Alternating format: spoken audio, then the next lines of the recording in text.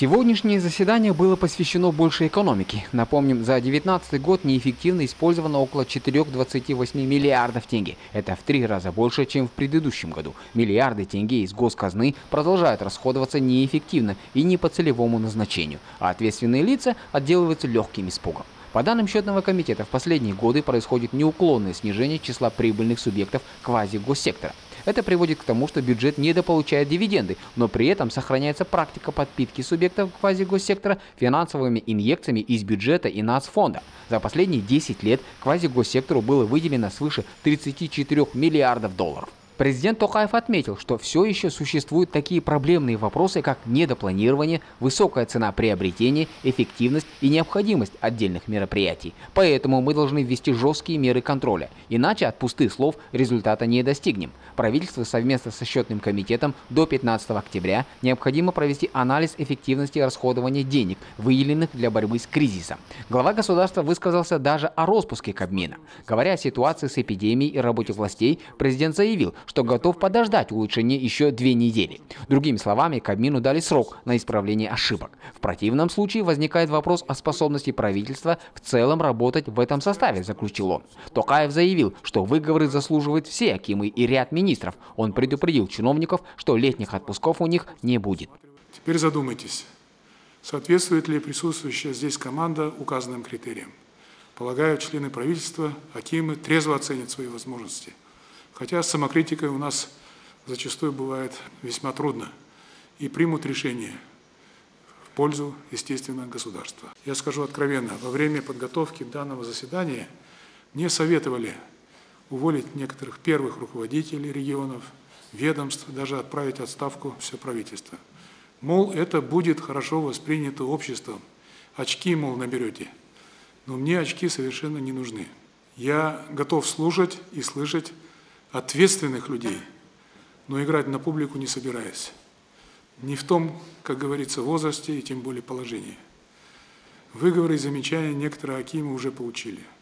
В принципе, такого наказания заслуживают, возможно, и другие руководители, будь то это области или министерства. Пандемия, вернее цены на нефть повлияли на доходы бюджета, поэтому министр экономики предложил брать деньги из нацфонда, причем больше, чем раньше. Таким образом, размер гарантированного трансферта из нацфонда был увеличен до 4,7 триллионов тенге. Это 11 миллиардов долларов. Напомним, в августе 2014 года активы нацфонда достигли пика. Зафиксирован рекорд на уровне 77 миллиардов. Затем размер изъятия был определен на уровне 3 миллиардов долларов ежегодно. И уже к концу 15 2015 года, конечно, за счет трансферта и за счет резкой девальвации тенге размер нацфонда усох до 63 миллиардов. В настоящее время там собрано всего лишь 57 миллиардов. Не густо, говорят эксперты. Если оттуда заберут еще 11 миллиардов, останется всего лишь 46 миллиардов долларов фонд перестал прирастать капитал. При такой скорости изъятия активы нацфонда могут быть исчерпаны менее чем за три года, говорят независимые экономисты.